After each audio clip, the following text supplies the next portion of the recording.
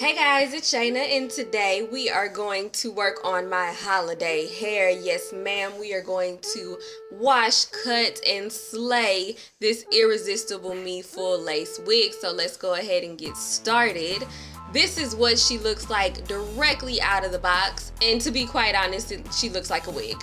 So we're gonna customize her. But before we do that, we're going to take a look on the inside, which you can see is a full lace cap, which means that you can part it anywhere and you will not be able to see track. So this step is completely optional. What I prefer doing is to widen the part just a little bit because I don't know about you but the parts on my head are visible and the parts in this wig are not. So to help the wig lay a little bit better, I'm going to snatch out, yes, I am going to be snatching out some hair around the parts and some hair around the edges, girl.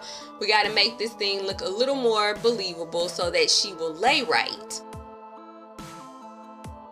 let me go ahead and give you a few details. This is a 20 inch Indian Remy natural black, natural straight, 120% density, full lace, human hair wig.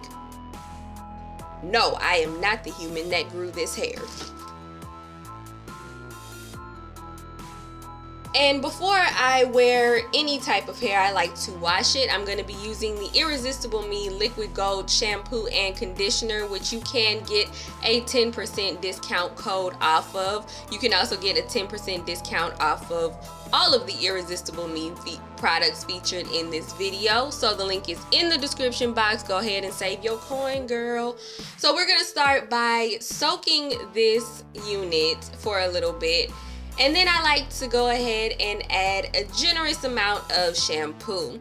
What I really like about this unit is it is completely tangle free. You can see this thing is balled and jumbled up in that little wash pan and it did not tangle. I'm pretty generous with the shampoo and I'm going to show you in a few moments why you should wash any hair that you get before you actually wear it.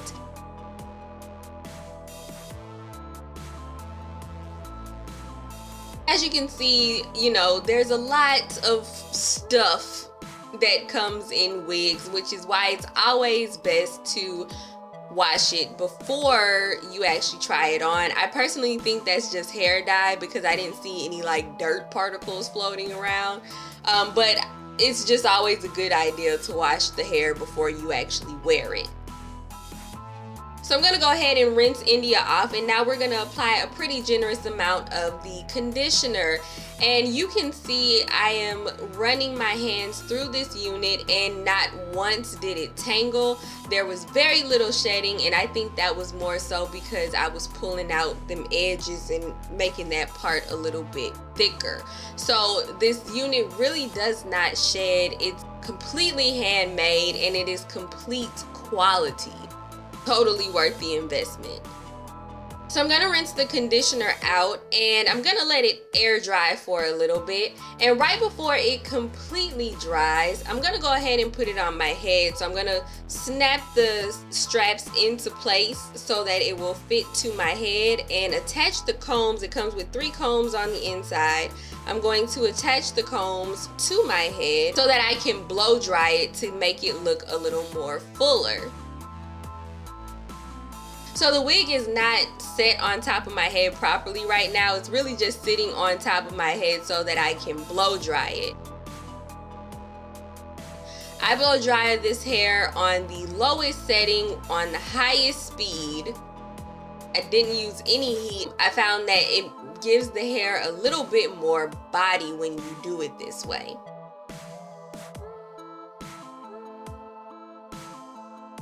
So once the hair is completely dry, I will go ahead and actually position it where I want it. I like for mine to sit right behind my baby hair just so it looks a little bit more like a sew-in instead of a wig. So I'm going to grab my concealer and I'm going to apply it to my part so that it covers up that little piece of lace that's sitting right in the front. Giving away all of my secrets, girl. Letting the whole world know that this is a wig. No, I'm kidding.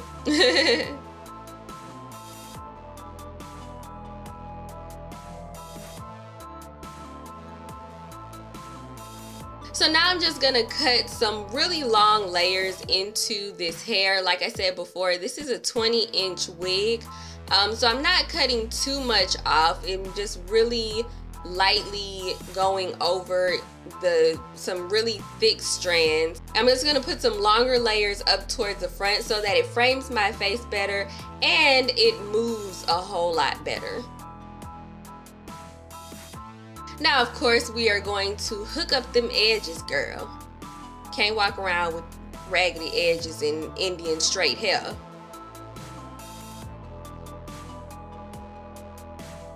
So now I'm gonna put a little bit of curl in my hair.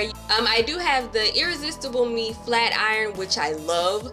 And I also have the Irresistible Me 8-in-1 Sapphire Curling Wand, which I really love. So I'm going to be using the curling wand this time just to put some really, really loose curls in my hair. And that helps to give it a little bit more body.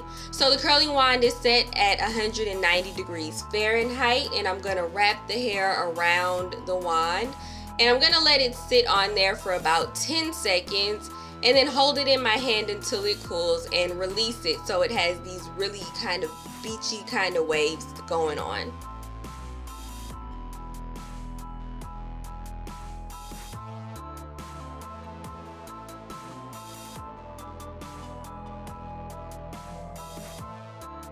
And I only did three sections on each side because I wanted the curls to be really, really loose.